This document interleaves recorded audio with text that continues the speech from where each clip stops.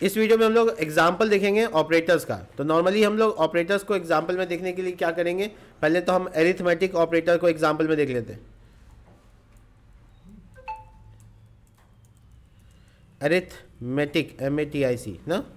Arithmetic operators इसके example कैसे देखेंगे? देखिए, पहले तो हम लोग कोई वेरिएबल बना लेते हैं डिम ए और कॉमा बी बी भी डिक्लेयर करते हैं एज इंटीजर ठीक है? तो दोनों वेरिएबल एक साथ बना लिया। और ए का वैल्यू कितना मान लिया? एक, दो और बी का वैल्यू सात मान लिया। जो वहाँ एग्ज़ाम्पल रखे थे, वही एग्ज़ाम्पल ले रहे हैं। तो हम सबसे पहले कंसोल डॉट राइट लाइन और इसमें लिखते हैं राइट लाइन में लिखते हैं एडिशन देखिएगा, ध्यान से देखिएगा ए प्लस बी ठीक है? एम परसेंट का यहाँ पे इस्तेमाल कर लेते हैं ताकि वो कॉन्केटिनेशन का काम पूरा हो जाए सेमी कॉलम लगता नहीं है, गलती से मैंने लगा दिया। तो पहले ये चीज़ हो गया और उसके बाद हम लोग एक और देख लेते हैं, ऑपरे वो पावर तो पावर के लिए लगाते हैं, उल्टा कर देते हैं इसको, कि बी पे पावर कैरेट का साइन ए ऐसे लिखते हैं। तो देखो पावर कैसे आउटपुट देगा। चेक करो आउटपुट क्या आता है। देखो 49 आउटपुट आना चाहिए 49 देखो पावर में आ रहा है, और सात और दो जोड़ दिया तो नौ आ जाएगा। एडिशन और सब्ट्रैक्शन ठीक से काम कर रहा है, अब आते हैं सब्ट्रैक्शन पे देखते हैं। सब्ट्रैक्शन ठीक है? और इसमें ऑपरेटर का क्या रोल है? माइनस कर देंगे। इस तरह से और भी हैं इनटू के लिए, और भी हैं डिवीज़न के लिए फ्लोर डिवीज़न के लिए, और मैं यहाँ पे इस सब का नाम बदल देता हूँ। मल्टीप्लाई इसका नाम है हो गया डिवीज़न और इसमें कर देते हैं फ्लोर डिवीज़न ठीक है? फ्लोर मतलब इंटीजर रिटर्न करेगा, ठीक है? डिवीज़न इस तरीके से। मैं इसको रन करके दिखा देता हूँ, सबका आउटपुट आ जाएगा। नोटिस करेंगे आप, सबका वैल्यू है। फ्लोर डिवीज़न ज़ीरो पॉइंट कुछ है, क्योंकि यहाँ ज़ीरो आ रहा था तो यहाँ ज़ीरो पॉइंट कुछ है। मैं वैल्यू पलट दूँ तो शायद सॉल्यूशन आ जाएगा आपको। बी बाय ए तो यहाँ पे भी कर देते हैं बी बाय ए तो शायद आपको समझ में आएगा कि थ्री आएगा थ्री पॉइंट फाइव आएगा, है ना? तो ये बेसिकली देखो थ्री पॉइंट फाइव आया और इसमें सिर्फ़ इंटीजर वैल्यू आया पॉइंट तो ये हो गया मेरा, इसको कहते हैं हम लोग एरिथमेटिक ऑपरेटर और इसी तरह से ऑपरेटर्स कई सारे हैं जैसे कंपैरिजन ऑपरेटर इसको हम लोग रिलेशनल ऑपरेटर भी कहते हैं। जो लोग को नए नए नाम आ, सामने आ जाए तो उनके लिए। Comparison R I S O N operator ठीक है? कंपैरिजन ऑपरेटर भी इसी तरह से होता है। तो कंपैरिजन ऑपरेटर क्या करेगा? कंसोल डॉट राइट लाइन और रीड लाइन नहीं राइट लाइन राइट लाइन और यहाँ पे आपने चेक करना है इक्वल को ठीक है? इज़ इक्वल ऐसे मैं यहाँ पे एक वर्ड लिखता हूँ is equal is equal to और उसके बाद मैं यहाँ पे क्या करूँगा कि सॉरी ये एंटर हो गया यहाँ पे। एंड का साइन और ये यहाँ पर, क्या ए बरा है, बराबर है बी के, ऐसे, ठीक है? और ऐसे मैं कई और एग्जांपल एक इज़ इक्वल टू के बाद greater than is greater than sorry is greater than तो इसमें ग्रेटर देन का साइन लगेगा। इज़ लेस देन फिर लेस देन का साइन लगेगा। Is greater than equal to is less than equal to ठीक है? और नॉट इक्वल टू ये। तो इसमें लिखेंगे is not equal to not equal to ठीक है? और ये हो गया is less than equal to ठीक है? और ये हो गया ग्रेटर देन मैं सबको एग्ज़ाम्पल में ले रहा हूँ। देन इक्वल टू और ये हो गया लेस देन सिर्फ़ लेस देन इक्वल नहीं चेक करेगा चलो अब इसको प्रिंट करके चेक करते हैं कि क्या ये सब काम कर रहा है कि नहीं कर रहा तो देखो आ, कुछ एरर है क्या? नहीं ये इसमें तो ठीक ठाक आया है इसके बाद कुछ एरर है।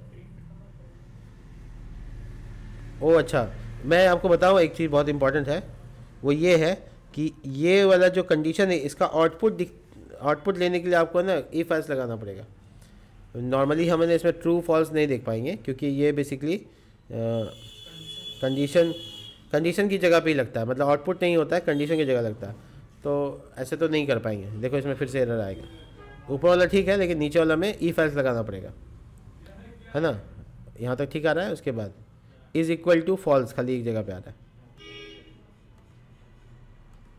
चलो, एक आ गया। अब बाकी सबको भी छोटी ब्रैकेट में लेंगे तो भी आ जाएगा। ठीक है? तो मतलब इसको एक्सप्रेशन में लेना होगा, यानी छोटी ब्रैकेट में लेना पड़ेगा। तो इसी तरह से हम इस सबको छोटी ब्रैकेट में ले लेते हैं, नहीं तो ये आउटपुट हमको नहीं देगा। ये एरिया बताना पड़ेगा आपको कि कंडीशन का एरिया क्या है। तो उसको छोटी ब्रैकेट से कवर करोगे तो एरिया पता चल जाएगा। इसी तरीके से सब में। अब मैं ट्राई करता हूँ। देखिए, सब ठीक होगा। देखो क्या ये बराबर है? दो और सात बराबर नहीं है? तो फॉल्स आ गया। क्या ये बड़ा है? फॉल्स हो गया। क्या ये छोटा है? हाँ ट्रू है। क्या ये बड़ा है? फॉल्स हो गया। ये ट्रू हो गया। क्या ये बराबर नहीं है? ट्रू हो गया। ठीक है? तो ये सारे के सारे आपके रिलेशनल रिलेशनल ऑपरेटर या कंपैरिजन ऑपरेटर ठीक ठाक काम कर रहे हैं। इसी तरह से, इसी तरीके से आपको असाइनमेंट ऑपरेटर भी हम दिखा देते हैं। असाइनमेंट ऑपरेटर कैसे काम कर रहा है? देखो console dot write line write line और उसके बाद देखो यहाँ पे असाइनमेंट ऑपरेटर्स कैसे काम कर रहे हैं। तो असाइनमेंट ऑपरेटर में हम क्या क्या बता सकते हैं? एडिशन ऑफ़ असाइनमेंट एक बता देते हैं, बाकी आप समझ लीजिएगा, ठीक है? A plus equal to ten या ट्वेंटी तो इसका, इसको आपको घेरना पड़ेगा, नहीं तो ये आउटपुट नहीं देगा, ठीक है? मैं पहले और यहाँ पे कर देता हूँ, और उसके बाद मैं ए का वैल्यू को प्रिंट कर लेता हूँ, ये भी हो जाएगा, ठीक है? तो मैंने यहाँ पहले क्या किया? पहले यहाँ पे कर लिया, बाद में ए का प्रिंट कर दिया। तो ए का वैल्यू कितना आना चाहिए अब? एनी वन बाईस।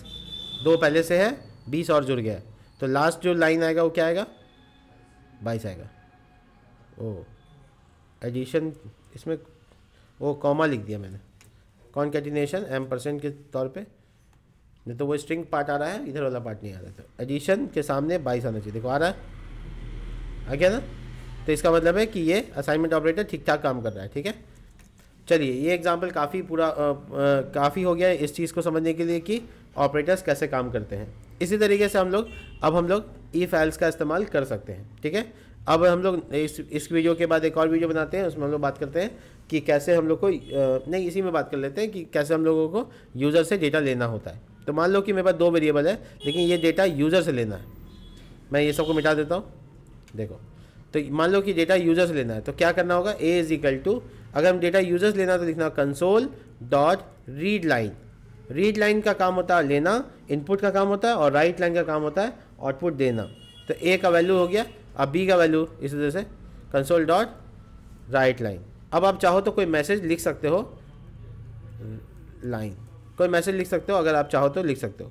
शायद मुझे लगता है कि यहीं लिख सकते हैं। Enter your enter first number first number और यहाँ लिखते हैं एंटर नहीं, यहाँ नहीं लिख सकते।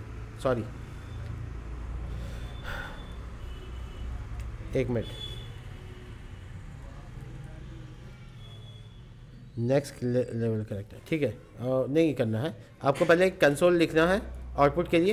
कंसोल डॉट राइट लाइन और यहाँ लिखना है enter first number enter first number एक नंबर मिला हमको। और आप इसके बाद फिर से इसी तरह से एक और कंसोल ए के बाद यहाँ पे डाल सकते हैं।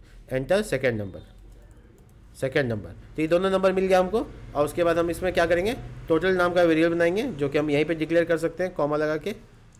टोटल टोटल टोटल ठीक है? और उसके बाद यहाँ पे total is equal to A plus B तो इस बार जो ए और वैल्यू आ रहा है बी का वैल्यू आ रहा है, वो यूज़र देगा। हम नहीं देंगे यूज़र देगा। तो उसके बाद हम इसका आउटपुट ले सकते हैं।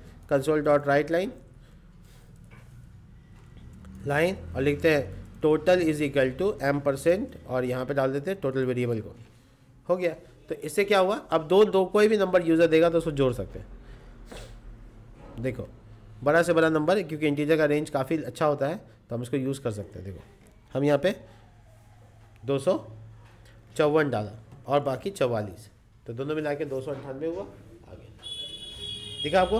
तो ये छोटा सा प्रोग्राम आपको ये दिखा रहा है कि आप इसको कंडिशनलाइज कर सॉरी इसको आप है ना यूज़र से इनपुट ले सकते हैं। तो इसमें यूज़र से इनपुट का भी पार्ट पे बात बात किया ई फाइल्स के ऊपर भी बात किया और ऑपरेटर के एग्ज़ाम्पल भी देखे। इससे पहले वाले वीडियो में हम लोग ऑपरेटर्स को समझा भी था और उसके नोट्स भी बनाए थे। मिलते हैं नेक्स्ट वीडियो में, तब तक के लिए बाय